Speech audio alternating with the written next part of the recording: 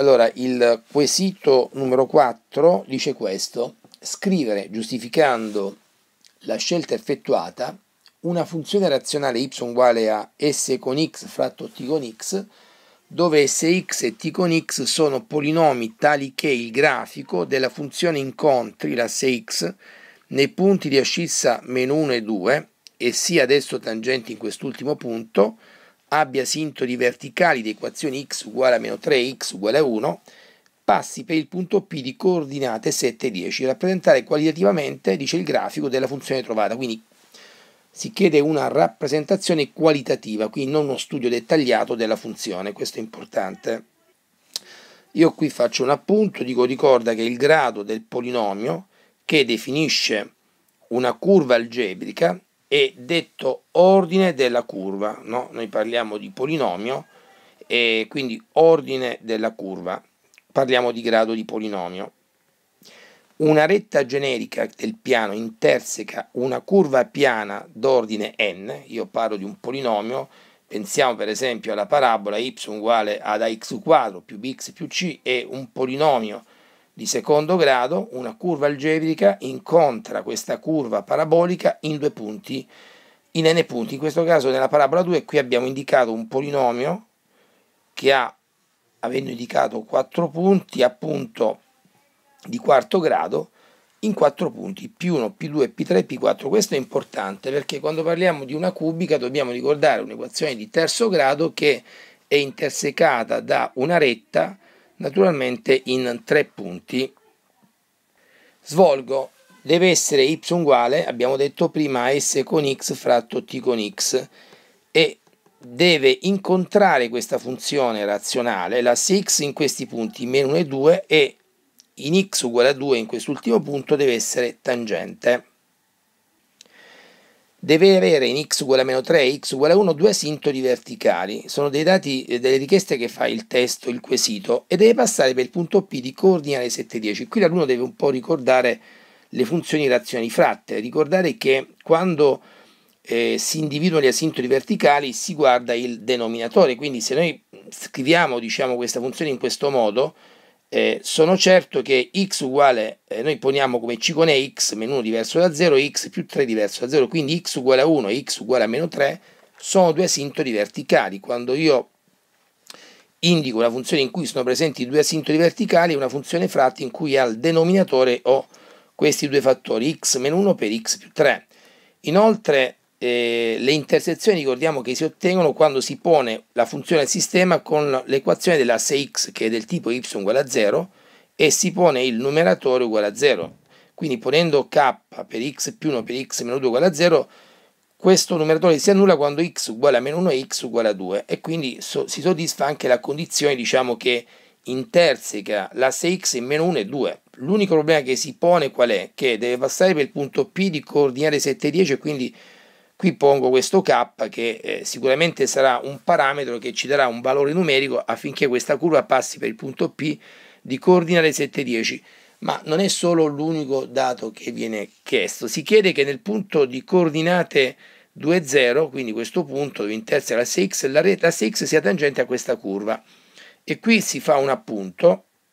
l'appunto è questo, quindi k è un parametro che determino imponendo il passaggio per il punto P, appartenente alla curva algebrica. Nota bene, vediamo che x-1 per x più 3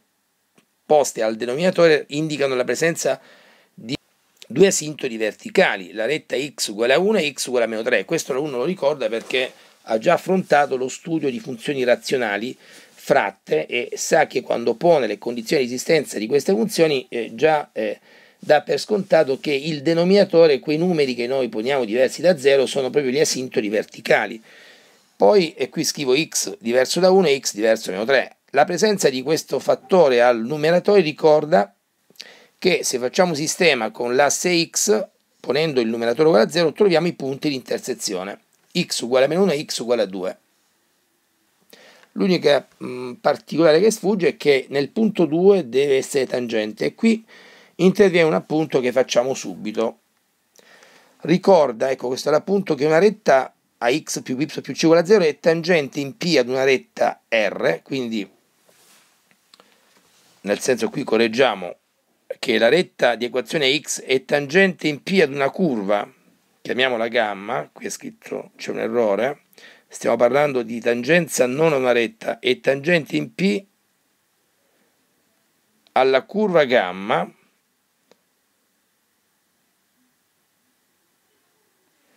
se c'è molteplicità 2 in quel punto, ripeto, la nota è questa, ricorda che una retta che ha questa equazione è tangente in un punto P ad una curva, questo è il punto P, se c'è molteplicità 2 in quel punto, quindi io devo avere in un punto una molteplicità pari a 2, cioè devo avere due intersezioni in questo punto. Eh, come fare un sistema tra una parabola e una rete e scoprire che abbiamo due soluzioni coincidenti, in quel punto c'è una molteplicità 2. Come si traduce questa molteplicità? Ponendo x meno 2 al quadrato, chiaramente all'inizio del testo io questo non l'ho posto perché ho preferito condurre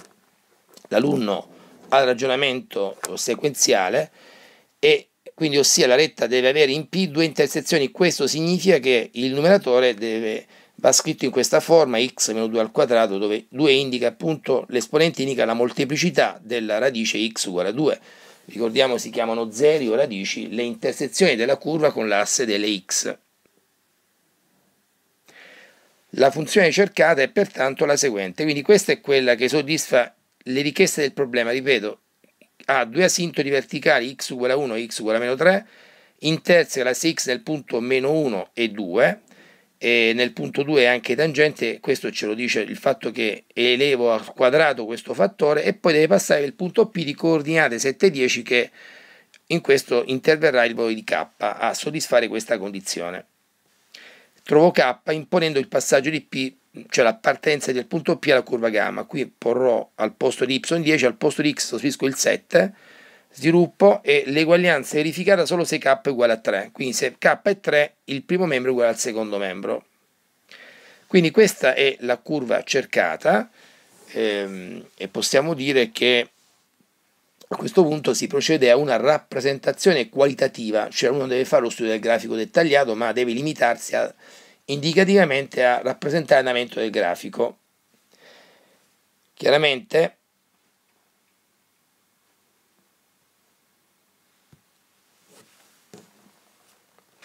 diciamo che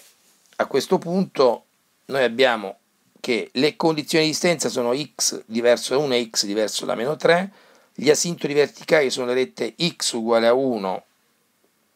ed x uguale a meno 3, qui dobbiamo porre il segno meno. Il segno noi poniamo come segno x più 1 maggiore o uguale a 0 per il numeratore e al denominatore abbiamo x meno 1 maggiore di 0 e x più 3 maggiore di 0. Facciamo studio del segno, ricordiamo che è una funzione fratta e individuiamo gli intervalli in cui la funzione è positiva o negativa eh, che appunto utilizziamo per campire le parti di piano in cui non rappresentiamo il grafico e lasciare in bianco quelle in cui rappresentiamo il grafico. Ecco, questo è il grafico, vediamo che il grafico ha questo andamento, quindi io ho riportato i punti in cui abbiamo asintoti verticali 1 e meno 3, lo diceva il testo come dato eh, iniziale, diceva che nel punto 1 e meno 3 abbiamo due asintoti, poi abbiamo le intersezioni in meno 1 e in 2, in meno 1 abbiamo visto che la curva interseca l'asse x, si vede che passa, in 2 la interseca due volte perché l'asse x è tangente, qui possiamo mettere anche i nomi, ricordiamo che l'asse x è tangente alla funzione nel punto 2 e qui poi abbiamo invece due asintoti verticali, quindi qui abbiamo questo comportamento vicino all'asintoto verticale, ho cancellato le zone in cui non rappresento il grafico e ho lasciato in bianco quelle in cui le rappresento in base allo studio del segno. Sommariamente il grafico è questo, passa per il punto meno 1, eh, vicino alle asintoti verticali al comportamento che vediamo, quindi è asintotico il comportamento per x uguale a meno 3 a sinistra e poi va a meno infinito.